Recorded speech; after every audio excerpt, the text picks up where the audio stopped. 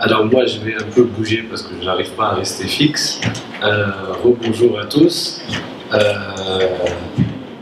je vais essayer d'être très concret. Comme on a parlé de choses concrètes, c'est vrai que la particularité du corps, c'est vraiment d'être concret. Et c'est la chose qu'on a vraiment voulu euh, montrer et l'image réelle qu'on a voulu donner. Et d'ailleurs, vous allez voir cet aspect concret, vous allez réellement le voir à travers ce compteur euh, dans quelques minutes.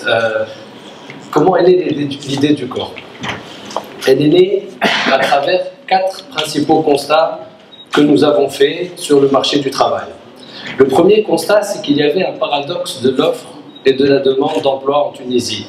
Comment cela s'explique?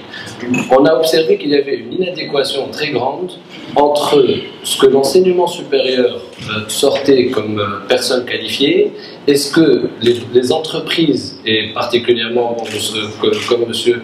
Henkelmann l'a très bien dit, euh, nous avons un grand réseau d'entreprises, donc nous avons la chance de pouvoir rencontrer un grand nombre d'entreprises et de voir les besoins.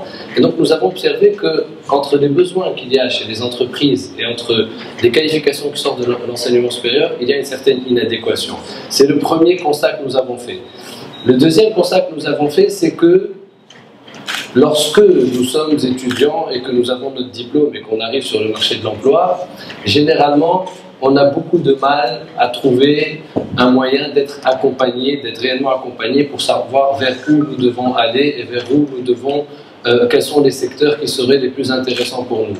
Donc voilà, c'est le deuxième constat sur lequel nous sommes partis. Et là, nous avons dit qu'il faudrait qu'il y ait une nécessité de développer un métier de conseiller sur l'ensemble du territoire pour faciliter ce matching-là.